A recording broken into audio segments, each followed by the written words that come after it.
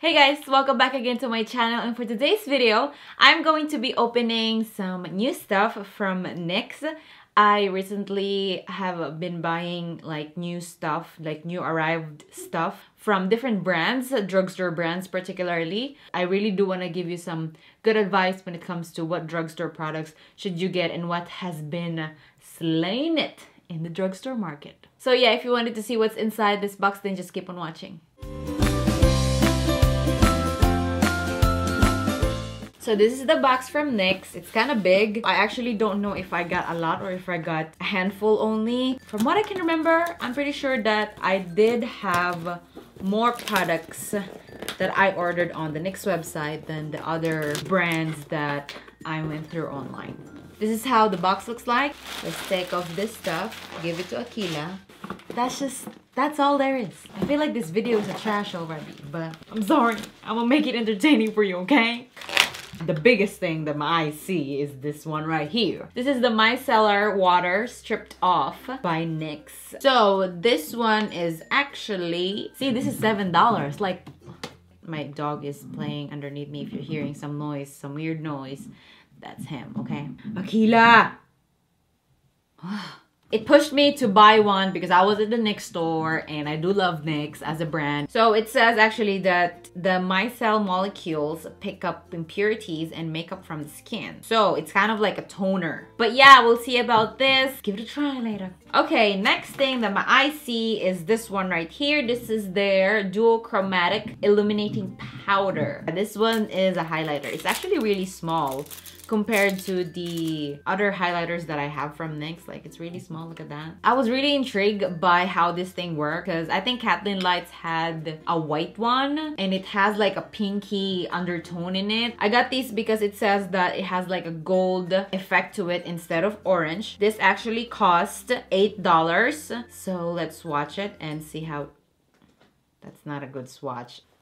Can you see? I see that gold in there, but that's me rubbing it really, really hard. I don't know. I'm not really impressed. I don't like to apply highlighter that harsh on my skin. So next is I got some lingerie liquid lipsticks from NYX. The only reason why I went there and checked this out because I saw that they released like a nude lingerie collection. I think there was four shades of that. I don't know if this is from their nude collection, but I think as I started to go over the other shades, I started to fall in love with the other ones compared to the new released ones. So the Cashmere Silk, I actually love how this thing is so nude. That's not that pigmented at all. It almost looks like it's just like a lip balm. As you swipe more, you're like grabbing the product back that's actually a really, really pretty color. I grab this one, the exotic, because it looks so good on the picture. This exotic one looks like a deep nude reddish. To me, it reminds me a lot of the Lolita one in Kat Von D. I like it, but I don't know about the consistency. Next ones are for the eyes. These are their faux black. I got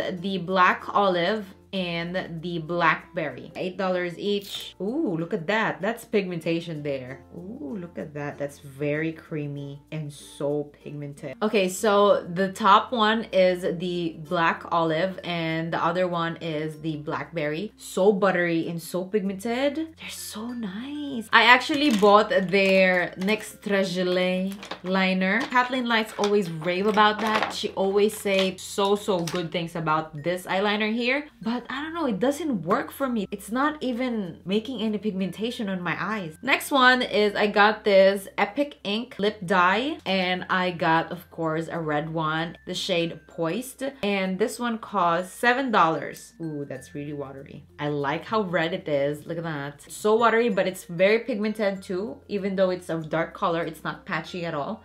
So next ones, I got their Nude Matte Shadow in the shade Make Me Blush and Tantalizing. $4.50 each.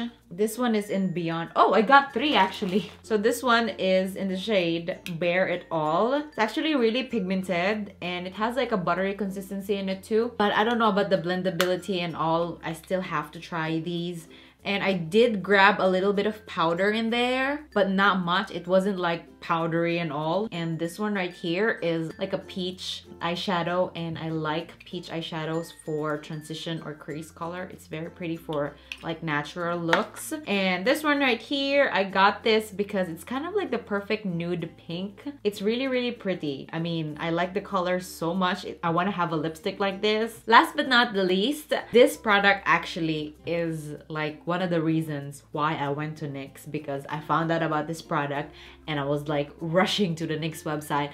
Not because I heard somebody talked about it that it was good or anything. I really, really want to try it. So I wanted to try this one. This actually cost, let's see how much this cost. This is $14 and it comes in a small bottle. It says that with just a few drops, our Total Control Drop Foundation delivers sheer to full coverage and a velvety matte finish. More drops equals to more coverage. Look at that. That's like water. See? Ooh. It covered like your imperfection, but I feel like my skin sucked the foundation. Like there's no foundation at all. I put a drop there.